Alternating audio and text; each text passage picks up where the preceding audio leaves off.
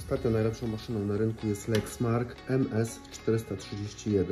Dlaczego najlepszą? Dlatego, że wyszedł z marketu. W markecie kosztował od 1000 do 1400 zł. Dziś takie maszyny można znaleźć na Allegro 300, 500, 700, 800. Maszyna drukuje z niesamowitą prędkością i ma bardzo duże tonery. Nie ma jeszcze tonerów kompatybilnych, alternatywnych, czyli zamienników. Aczkolwiek myślę, że producenci już nad tym pracują, żeby te tonery czymś napełnić.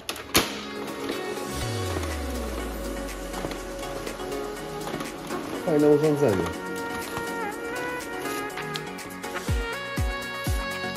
Pięć stron w 5 sekund. Teraz puściłem troszkę więcej.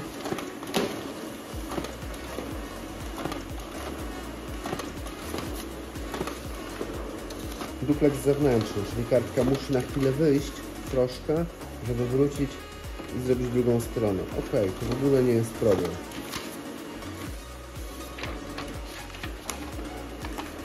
Jeżeli chcesz wykonać fabryczny reset, musisz spojrzeć na ten wyświetlacz. Niestety on się nie podnosi. Plus i minus. Minus, no, że leży plus, nie ma się co płakać. Czyli resetujesz wszystkie ustawienia o starym właścicielu.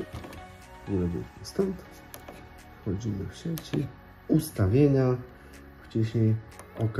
Dalej szukamy czegoś takiego jak urządzenie. Wchodzimy znowu w OK.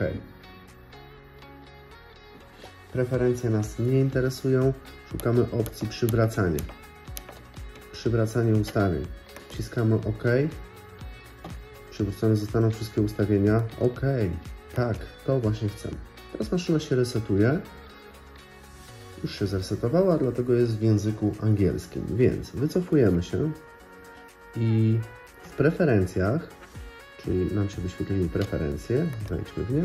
Display Language, oczywiście tu jest dużo różnych ustawień, ale wymienimy język angielski, przewijamy i znajdujemy sobie nie wiem, chiński, norweski, ja akurat wolę polski. Polski.